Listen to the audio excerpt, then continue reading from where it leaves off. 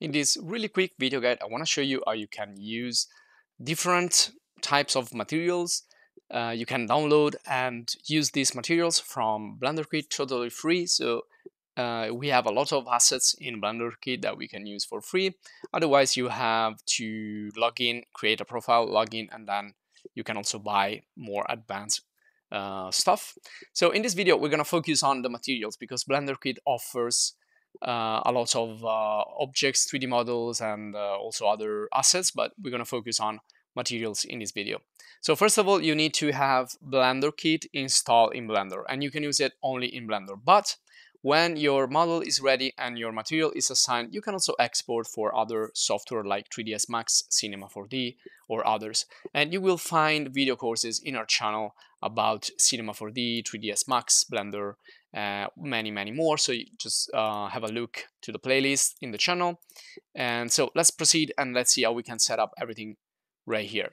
So let's get started from the beginning. I'm gonna go here and do a new general. And now let's get the add-on that we need. I already showed the process of uh, installing in detail um, BlenderKit, but it's really simple. You just need to go here in Google and search for BlenderKit, go here, and this is the, the main page. Just click on download and wait for the zip file to be downloaded. You can save it in your download folder or anywhere you want. And it's really easy to, to do. So I, if you are if you have any difficulties to do this, you can check the other video guide about BlenderKit in the channel or write in the comments if you have questions and you need assistance.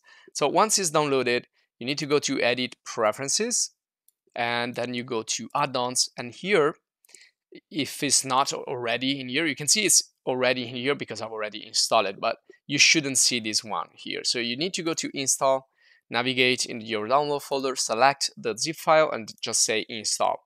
And then you should see it right here. If you don't see it, you can search for it by typing here Blender Kit. And there it is. So all you need to do now is to check this on. And the first time you're gonna uh, install it and activate it, you will see also a video tutorial right here that is gonna show you everything, but that's what uh, we're gonna see a little bit also in this video guide. So I close the, the window there, I can close the preference window as well. And now to start already to drop in stuff from BlenderKit, I can use this uh, bar right here on the top and I can move from models to materials and other assets, but we're gonna focus on materials. So I'm gonna select this one here, which is find materials. And you can see that many materials are already displayed. So I can click on these arrows, I can go back and forward, and I can just click and drag and drop the material onto my object in Blender. It's gonna take a few seconds or minutes depending on your internet connection speed and uh, you need to wait for this to be totally green.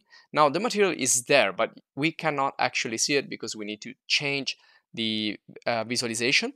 So if we go here in the viewport shading, we need to switch from solid, which is kind of the default in Blender, into the next one, which is the material preview. So this is how we can actually preview the material on the object. So you can see it looks really beautiful. It has uh, 3D uh, normal effects or bump or also called sometimes displacement, depending if it's real 3D or fake 3D in this case. It's uh, We can see the fake 3D effect. But if we switch in the render mode, we can actually see if this is a fake 3D or, the, or is a real displacement. And also we can change the position of the light to see a little bit better. There you go. And this is uh, the standard EEVEE render. So if you want to see a little bit better the material, you can go into cycles, which is the more advanced. So we can see that this hasn't, uh, it doesn't have the, the displacement. It's just a fake 3D. And this is just uh, an example, of course. Now, uh, you can move into the shading interface, which is kind of more uh, more interesting when you work with materials because down here you can actually see the material. So if I select the object, we can see all the nodes that have been created for these materials and we can also get the textures. So if I, uh, well, we don't have textures here. This is all procedural. So it's not done with the images. So let's get another one and actually let's get another object let's uh, select like the monkey of Blender so we can see a little bit more complex geometry and also apply a complex material. So these are all like PBR and also they many of these are multi-layer materials. They are really complex, so they're really beautiful and realistic. And you have glass, you have metal, and all sorts of things. So uh, first of all, I want to change the the view here. So right click on the object and do shade smooth. So I can view the, the monkey smooth. And right here, we're using an HDRI that, that is already in Blender in this shading interface. So it's, it's gonna make reflection look better.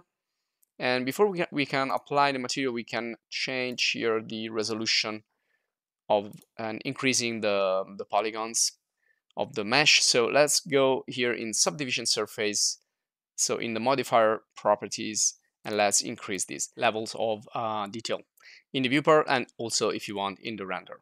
Now, if you're interested in Blender, you will find a video course also and other video guides and other video courses in the channel. Also, also other um, software if you're interested in discovering other software.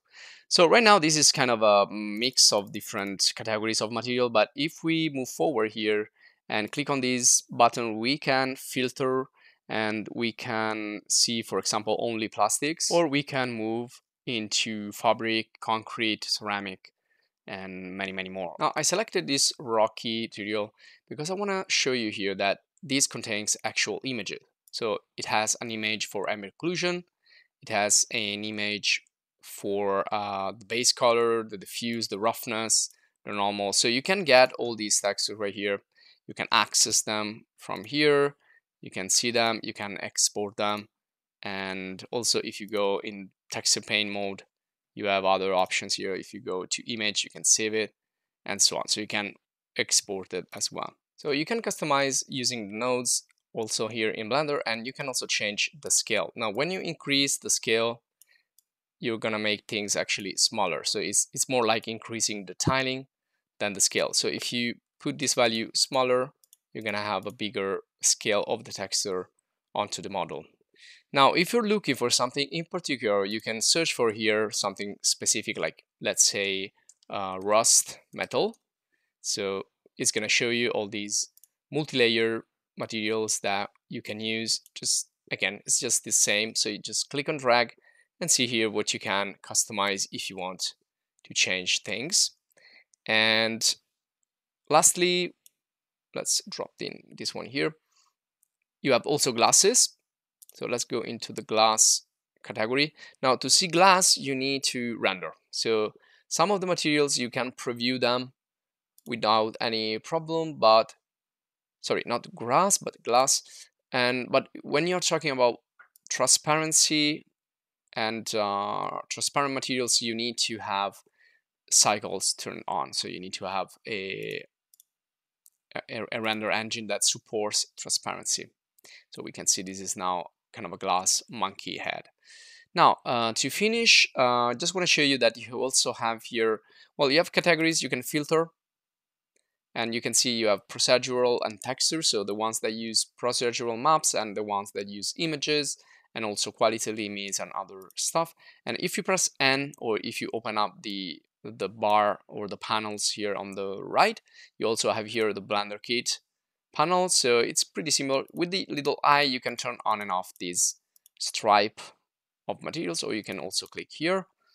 And um, you also have search filters, again, right here, and categories. So it's just the same of the of the bar at the top, but it's just uh, another like less compact version of the same things.